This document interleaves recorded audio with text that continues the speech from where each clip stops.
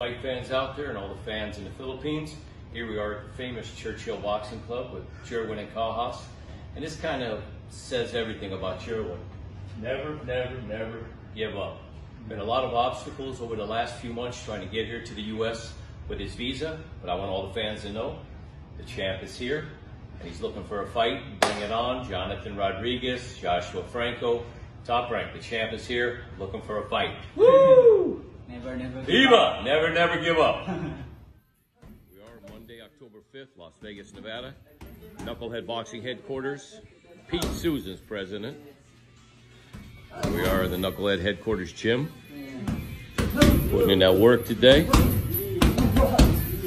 Jerwin Ancajas.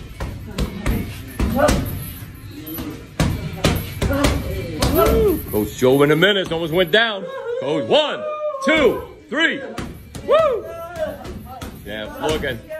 Waiting for something to happen. Champ's here. When Moloney gets starched. Woo! Good work from the champ today. Woo!